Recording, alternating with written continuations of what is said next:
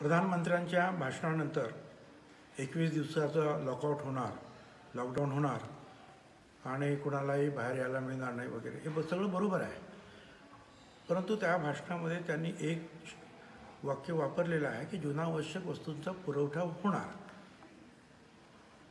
काही लोकांच्या ते लक्षात न आल्यामुळं लोकांना असं वाटतं आहे की आज बारानंतर पुढचे तीन आठवडे आपल्याला अन्नधान्य किंवा ग्रोसरी शॉप किंवा दूध वगैरे काहीच मिळणार नाही. तर असं नाही आहे. मी महाराष्ट्र राज्याचा जबाबदार मंत्री म्हणून सांगतो आहे की हा अन्न पुरवठा आम्ही चालू ठेवणार आहोत.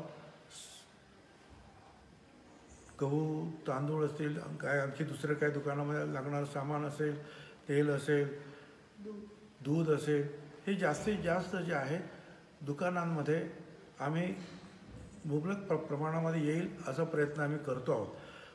प्रश्न फक्त एकच आहे की ते आणायला जाताना घरातल्या दोन दोन तीन तीन लोकांनी न जाता एका घरातल्या एका माणसाने शांतपणे जाऊन आपला आपला कोटा घेऊन यायचा. परदेशामध्ये सुद्धा हीच सिस्टीम आहे. न्यूयॉर्कमध्ये सुद्धा हीच सिस्टीम आहे की लोकांनी जाऊन ग्रोसरी शॉपमध्ये एकट्यानेच जायचं आणि आपलं सामान घेऊन परत वरती जायचं घरी जायचं. त्याच सिस्टीमनं जे आहे आपला अन्नधान्याचा पुरवठा किंवा इतर जो काय आम्ही करणार आहोत सहा महिन्याचा अन्नधान्याचा पुरवठा आपल्याकडे आहे. कोणीही पॅनिक व्हायचं कारण नाही. कोणी पॅनिक व्हायचं कारण नाही. मला असं कळलं की मुंबईमध्ये आणि इतर जिल्ह्यामध्ये सुद्धा मु- मुख्य शहरांमध्ये लोक बाहेर येत आहेत आणि अन्नधान्याच्या दुकानामध्ये उडायला सांगतात वगैरे.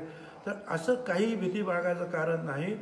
अन्नधान्य लोकांना खाण्यापिण्याच्या वस्तू ज्या आहेत ह्या पुरवल्या जाणार आहेत.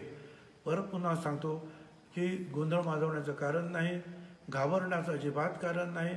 जबाबदार मंत्री म्हणून तुम्हाला सांगतो पुन्हा पुन्हा सांगतो की आपल्याला अन्नधान्याचा पुरवठा होणार आहे.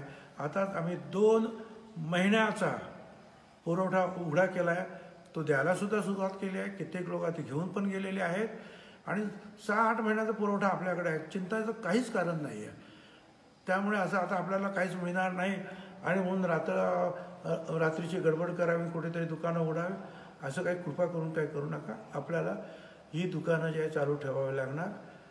जी कमीत कमी रेशन आणि अन्नधान्याचे खाण्यापिण्याच्या ज्या वस्तू आहेत त्या आपल्याला मिळतील. यासाठी प्रयत्नाची पराकाष्ठा केली जाईल. आणि म्हणून सगळ्यांनी शांतता राखा.